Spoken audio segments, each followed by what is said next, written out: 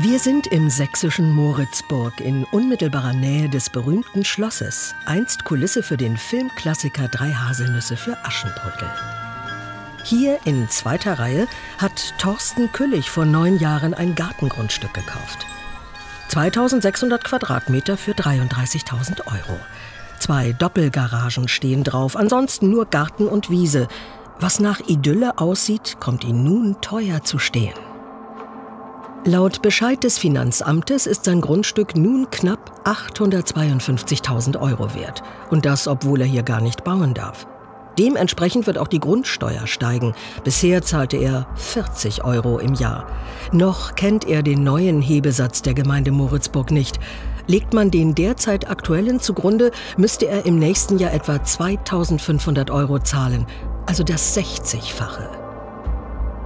Ja, ich merke schon deutlich, wie dieser fiskalische Würgegriff zum 1.1. langsam äh, zugreift. Und äh, das macht einen schon ein bisschen äh, unentspannt, weil äh, ich habe ja mehrfach versucht, auch, sagen wir mal, ähm, eine Brücke zu bauen. Aber da habe ich halt seitens der Politik und auch seitens der äh, Finanzverwaltung kein, nicht mal einen Ansatz, sondern einen Hauch von, von Bereitschaft erkannt. Holger Höhne im benachbarten Meißen wurde vom Finanzamt sogar faktisch zum Millionär gemacht.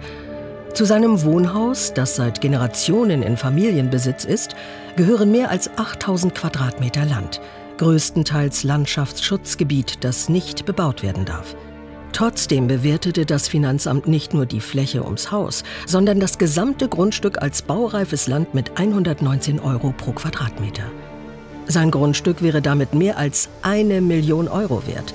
Auch er kennt den Hebesatz, also den Faktor, mit dem seine Gemeinde die Grundsteuer berechnet, noch nicht. Würde er gleich bleiben, erhöht sie sich auch bei ihm von 89 auf etwa 800 Euro. Nur Betrug, es ist, es ist ja, man kann ja sagen, unverschämt oder äh, was soll man da für Ausdrücke finden? Ja, ja weil, äh, weil man das jetzt vereinfacht hat und vom Ministerium kam ja dann die Antwort, ja, auf kleinteilige Sachen können wir keine Rücksicht nehmen. Das wäre mit eingepreist. So frage ich mich, was hier kleinteilig ist. Ne? Das ist ja eine Erhöhung von äh, ja, mehrere hundert Prozent. Dass Grundstücke und Häuser in Deutschland überhaupt neu bewertet wurden, hängt mit einer Entscheidung des Bundesverfassungsgerichts aus dem Jahr 2018 zusammen. Die Richter hatten die alte Grundsteuer als verfassungswidrig eingestuft, da sie auf veralteten Grundstückswerten beruht. Die damalige Bundesregierung beschließt eine große Grundsteuerreform. Sie soll etwa 36 Millionen Grundstücke neu bewerten. Dabei sollen die Gemeinden nicht mehr Steuern einnehmen als bisher, so das Versprechen.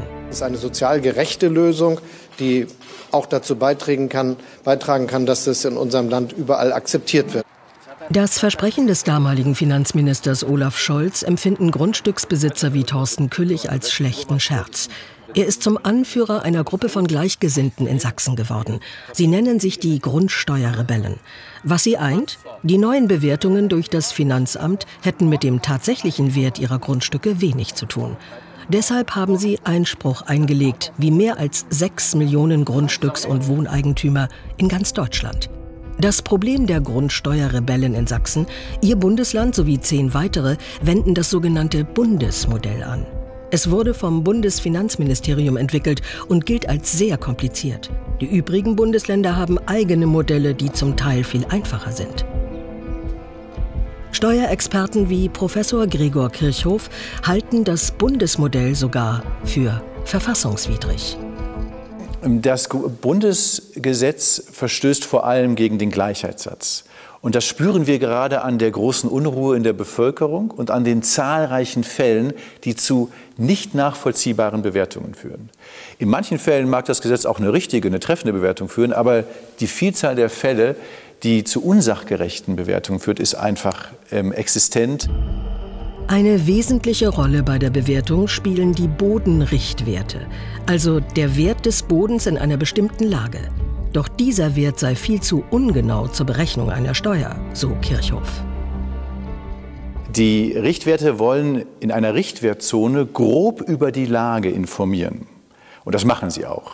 Aber wenn man dann die genauen Grundstücke anschaut, dann hängt es zum einen vom Zuschnitt des Grundstücks ab. Das kann sehr groß sein, aber so zugeschnitten sein, dass man nicht wirklich bauen kann. Das zeigt sich auch am Fall von Thorsten Küllig aus Moritzburg. Obwohl er gar nicht bauen kann, hat das Finanzamt sein Grundstück genauso bewertet wie die Häuser in der ersten Reihe, größtenteils mit dem Bodenrichtwert von 308 Euro pro Quadratmeter.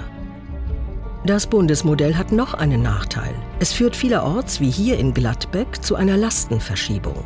Das heißt, Gewerbeimmobilien kommen günstiger weg als bisher. Privater Wohnbesitz wird deutlich teurer. Die ersten Hochrechnungen der Stadt zeigten ein fatales Ergebnis, so Bürgermeisterin Bettina Weist. Tatsächlich ist dann aufgefallen, dass insbesondere die Ein- und Zweifamilienhäuser bei uns in der Stadt sehr stark belastet worden wären und äh, das Gewerbe ja sehr stark entlastet. Und äh, das führt natürlich zu einem Gegeneinander auch äh, und äh, das äh, finde ich nicht tragbar. Um dieses Ungleichgewicht etwas zu korrigieren, hat die Stadt letzte Woche entschieden, für Gewerbeimmobilien die Hebesätze zu erhöhen und für Wohnhäuser die Hebesätze zu senken. Trotzdem werden im Ergebnis an die 50 Prozent der privaten Wohneigentümer mehr bezahlen. Ähnlich wie Gladbeck geben aktuell die ersten Städte ihre neuen Hebesätze bekannt. Zum Beispiel Berlin. Hier wurde der Hebesatz für die Grundsteuer von 810 auf 470 Prozent gesenkt. In Hamburg hingegen verdoppelt er sich nahezu. Bremen plant eine Erhöhung von 695 auf 755 Prozent. Dass etwa 90 Prozent der Haushalte immer noch nicht wissen, was auf sie zukommt, hält Kai Warnecke von Haus und Grund Deutschland für echtes Staatsversagen. Was wir in diesen Tagen sehen, ist, dass viele Städte und Gemeinden noch keine Hebesätze erlassen haben. Das heißt, für viele Bürgerinnen und Bürger ist nicht klar, wie teuer es werden wird. Dort, wo es schon Hebesätze gibt, erleben wir zum einen, dass es für den Einzelnen zum Teil das Acht-, das Zehnfache dessen wird, was äh, er oder sie bisher gezahlt hat. Drohen tatsächlich flächendeckende Steuererhöhungen? Aktuelle Berechnungen von Haus und Grund zeigen, dass selbst in Berlin, wo der Hebesatz erheblich gesenkt wurde, Hausbesitzer 90 Prozent oder gar über 200 Prozent mehr an Grundsteuer zahlen müssen. Das zuständige Bundesfinanzministerium schreibt dazu, dass es für Einzelne zu einer Mehrbelastung komme, sei notwendig, weil die bisherige Grundlage für die Steuererhebung nicht realitäts- und relationsgerecht war. Das neue Bewertungsrecht gewährleistet eine Neubewertung der Grundstücke nach objektiven Kriterien. Für Thorsten Küllig ist die Bewertung seines Gartengrundstücks wie Bauland alles andere als objektiv. Immerhin, der Bundesfinanzhof räumt Betroffenen wie ihm nun das Recht ein, sich zu wehren. Das hatte das Gesetz bisher nicht einmal vorgesehen.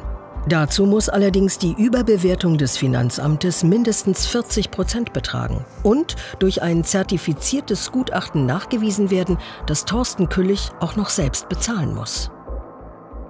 Das äh, halte ich für einen Skandal, weil äh, ich muss im Grunde, ich wäre finanziell zur Rechenschaft gezogen für eine Sache, die ich nicht zu verantworten habe.